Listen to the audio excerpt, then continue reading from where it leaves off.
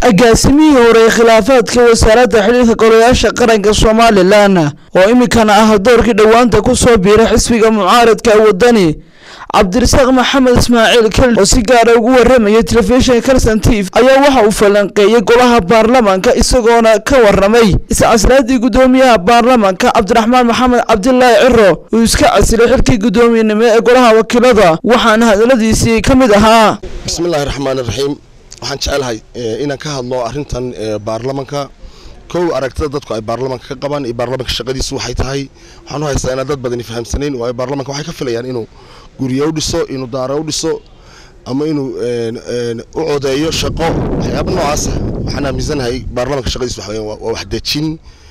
Xeerarka xukuumadduna way abuurtaa baarlamankana oo ka dhex dhashaa. Tiina si fiican buu uga soo baxay cabdiraxmaan baan aaminsanahay. Si fiicanna wuu hogaamiyey laakiin qaar baa dhaliil ka dhigaya. Waayo waxaana gelinayn bay dhaliilayaan qofku waynu aqoon u leeyahy waxa uu dhaliilayo mid waa taasi waxaana leeyahay isagoo inuu sii joogo ay xataa baarlamanka waxba u diidayn sharciga u diidayn haddana inuu ka tago maanta uu xilka weyn isu diyaariya waa arrin wanaagsan. Laakiin indhihi caafimaadka qabaa way arkayaan.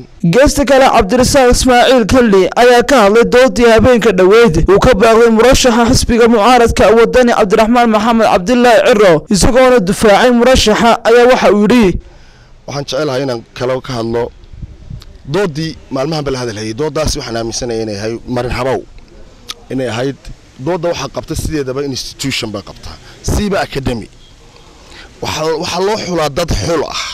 Waayo qofkan hogaanka ah ee waddanka ee baabuurkan loo baahanya inuu kaxeeyo shaandhada la saaraya waa inay shaandho quality-a ay noqotaayoo reebaysa dee wixii aan aboonayn sidaa daraaddeed institution baa qabta wax kastana waxaa la weydiiyaa waxaa maxaad ka yeelaysaa siiba dal xagguu ka koraa xaggee buu ka horumaraa sidee buu u horumaraa maxaad halkaa ka qabanaysaa maxaa inaga khaldan maxaa prioritiga siinaysaa sideed u siinaysaa eed u hirgelinaysaa maxaad ku dooratay inaad waxaa prioritiga siiso? Su'aalo noocaasaa dee keeni kara oo loogi kara. Marka in la doodo waa wax fiican laakiin in dad quality a academy oo kale ama in la nidaamiyo ay ku fiican tahay waana dhiirigelinayaa laakiin de haddii la soo ururiyo garabkii haweenka waa halkii faysale taasi dhibaatadeedii leedahay waan leeyahay wax u dhexaa iyo wax aqbalaada maaha.